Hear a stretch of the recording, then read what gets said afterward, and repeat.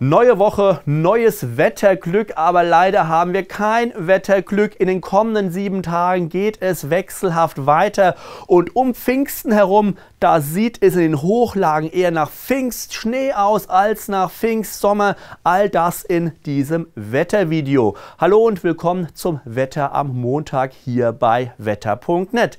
Wie war es gestern bei euch gewesen? Bei uns in Mainz-Wiesbaden gab es gestern am Sonntagabend um 19 Uhr Starkregen, Hagel, Sturmböen. Ein Gewitter ist über das Rhein-Main-Gebiet gezogen. Hinterlasst doch gerne mal einen Kommentar zu eurem Wetter gestern hier unter diesem Wettervideo. Die nächsten sieben Tage, wie gesagt, weiterhin Chaoswetter, auch über Pfingsten. Da könnte es sogar in den Hochlagen nochmal Schnee geben. Dazu später mehr. Zunächst wie immer der Blick auf die Großwetterlagenkarte vom heutigen Montag. Das Tief Lothar liegt über Nordeuropa, bringt uns weiterhin wechselhaftes Wetter und zum Teil auch immer wieder kräftige Regengüsse und sehr kühle Luftmassen. Die warmen Luftmassen sind nicht weit weg hier über Russland. Dort herrscht zum Teil viel zu warmes Wetter, Sommerwetter und auch der Blick Richtung Südwesteuropa. Auch da hat sich der Sommer teilweise schon etablieren können. Bei uns dagegen hier in Deutschland, in Mitteleuropa, Europa, da sitzen wir mittendrin im Kälteloch. Der Blick auf den heutigen Montagmorgen nach Norden teilweise freundlich, sonst im Rest des Landes dichte Wolken, stellenweise immer noch Regenschauer, vor allen Dingen im Westen und im Südosten. Ja, und heute tagsüber ein gleiches Spiel wie gestern, sehr windig, immer wieder Regenschauer, teilweise Gewitter mit Starkregen, mit stürmischen Böen, mit Hagel. Das volle Programm wird heute zum Wochenauftakt geboten werden und das bis zum Sonnenuntergang. Dann lassen die Schauer und und Gewitter langsam nach.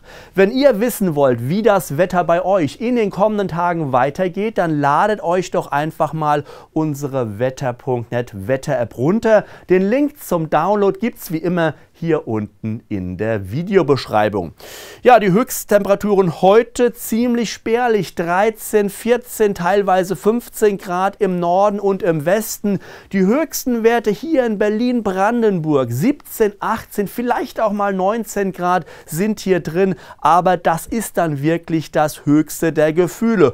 Morgen früh, da braucht man wieder die Jacke, Temperaturen, ja, so um die 6 bis 8 Grad und punktuell kann es auch hier und da besonders besonders in den höheren Lagen wieder Blümchenalarm, also Bodenfrost geben. Auch der Dienstagmorgen beginnt mit vielen Wolken, im Norden zeitweise freundlich, aber später bilden sich schon wieder viele Schauer und Gewitter, wieder mit Starkregen, mit kleinkörnigem Hagel, mit stürmischen Böen in Hochlagen der Alpen. Wir sehen es da unten an den blauen Symbolen, da kann es auch wieder Schnee, Regen und Schnee geben und auch der Dienstagabend bleibt wechselhaft, ab und zu Sonnenschein, dazwischen immer wieder Schauer und einzelne Gewitter und ich sage es gerne nochmal, Schauer Schauer und Gewitter werden wie immer nicht jeden treffen. Dort, wo sie abladen, kann richtig was runterkommen. Aber es gibt auch Regionen, die bleiben wahrscheinlich komplett außen vor und komplett trocken. Die Höchsttemperaturen morgen nicht viel höher als heute, 13 bis 16 Grad. Im Osten wieder am wärmsten Temperaturen von bis zu 18 Grad. Ja, und die gesamte aktuelle Woche wird nass werden. Hier mal die Regensummen bis zum Pfingstmontag. Und wir sehen teilweise, ja, so 35 bis 40 im Südwesten bis zu 50 Liter Niederschlag pro Quadratmeter und im Alpenraum wird es richtig nass, 80 bis 100 Liter Niederschlag pro Quadratmeter und ein Teil davon fällt in den Hochlagen als Schnee, teilweise bis Pfingstmontag hier ein halber Meter Neuschnee, der in Hochlagen der Alpen drin sein könnte.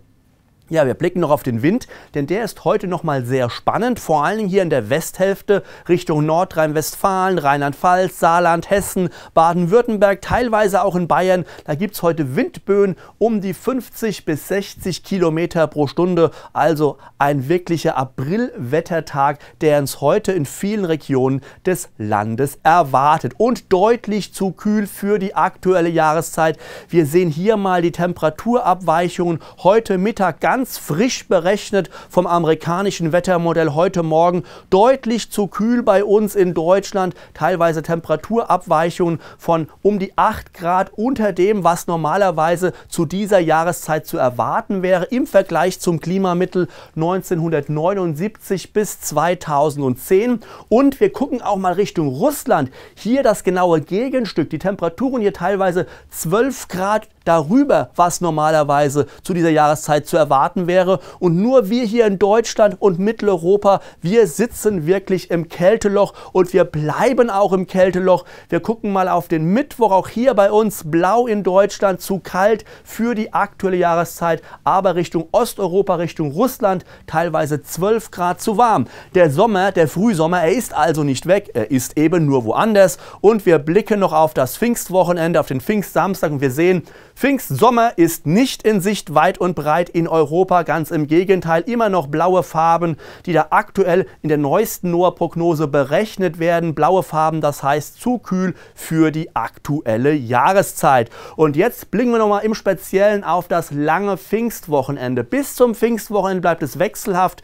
Ja, und auch der Pfingstsamstag, der verspricht nicht besser zu werden. Ein Mix aus Sonne und Wolken und immer wieder Regengüsse. Und wir sehen es hier unten, die lilanen Farben im Alpenraum, da kann es Schneefälle geben in den höheren Lagen. Also sommerlich sieht das alles wahrlich nicht aus. Und das sind die Höchsttemperaturen am Pfingstsamstag. Und wir sehen Temperaturen gerade mal 14, 15, 16 Grad mit etwas Glück bis zu 17 Grad im Osten des Landes. Im Alpenraum Richtung Österreich rüber teilweise Temperaturen um die 10, 11 Grad. Auch hier bleibt es ziemlich kühl am Pfingstsamstag.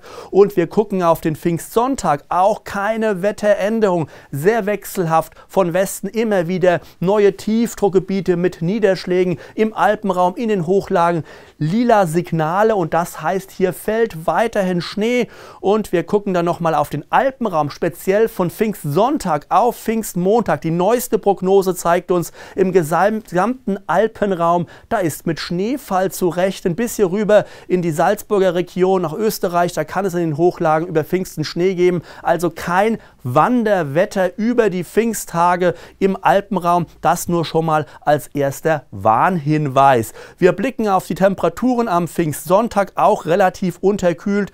13 bis 15 Grad. Die höchsten Werte wieder im Osten des Landes 17, vielleicht auch 18 Grad sind hier möglich. Und zum Schluss noch der Blick auf den Pfingstmontag. Da ist es ein bisschen freundlicher. Im Süden Mix aus Sonne und Wolken, kaum Schauer. Im Norden mehr Schauer und im Osten auch. Und vor allem hier in Österreich zum Teil kräftiger Regen, in den Hochlagen der Alpen immer noch Schneeflocken und die Temperaturen am Pfingstmontag vorübergehend mal im Osten 19 Grad, vielleicht auch hier knapp 20 Grad, aber sonst ziemlich unterkühlt. 13, 14, 15, 16 Grad im Norden. Und hier im Südosten ist es richtig frisch, 10 bis 12 Grad nur. Und wir blicken mal hier nach Österreich, Temperaturen hier teilweise unter 10 Grad, da wird es also am Pfingstmontag richtig kühl sein. Und wie gesagt, in den Alpen, da schneit es immer noch munter weiter.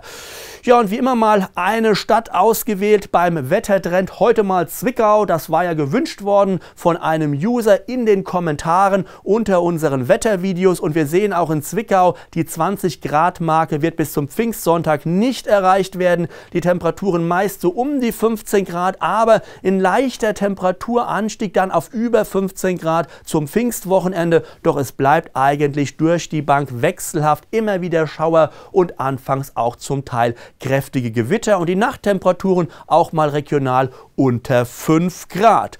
Zum Schluss wie immer der Blick auf die Ensemblevorhersage. Mittlerweile schon bis zum 1. Juni und zwar für den Westen Deutschlands. Die mittlere Temperatur hier aktuell knapp unter 15 Grad, erreicht dann später um die 15 Grad und bleibt dann hier auch hängen über Pfingsten hinweg bis zum Start in den ersten meteorologischen Sommermonat Juni. Die Temperaturen maximal im Westen um die 15 Grad und nur einzelne Ausreißer gehen mal rauf auf 20 bis 25 Grad. Das sind aber wirklich nur Ausreißer und es gibt immer wieder Niederschlagssignale auch über das Pfingstwochenende hinweg. Und wir gucken noch in den Osten Deutschlands, auch hier eine ähnliche Wetterlage. Es bleibt unterkühlt, die Temperaturen im Mittel bis zum Monatsende immer um die 15 Grad und nur einzelne Ausreißer sehen mal 20 bis 25 Grad und dazu im Osten auch immer wieder zum Teil auch kräftige Niederschlagssignale. Apropos Niederschlag,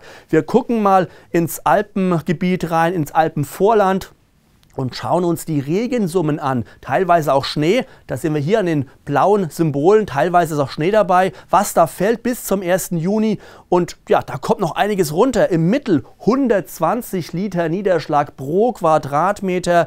Die höchsten Berechnungen gehen aus von 160 und die niedrigsten von 60 Liter Niederschlag pro Quadratmeter. Teilweise Regen in den Hochlagen der Alpen ist das aber auch Schnee. Da kann also noch mal in den Alpen über Pfingsten hinweg bis zu ein halber Meter Neuschnee fallen. Das Chaoswetter, es geht also im Mai auch über Pfingsten weiter. Vom Wonnemonat Mai ist da leider weit und breit nichts zu spüren. Und ich sage mal, bis Monatsende, ich habe schon mehrfach gesagt, ist einfach kein Frühsommerwetter mehr im Mai in Sicht. Der Mai geht zu kalt weiter und der Mai wird leider wahrscheinlich auch deutlich zu kühl enden. Das war's vom Wetter hier bei wetter.net. Wem unser Video gefallen hat, der lässt gerne einen Daumen nach oben da und wir freuen uns natürlich auch über ein Abo auf unserem Wetterkanal wetter.net auf YouTube. Tschüss und einen guten Start in diese neue Woche.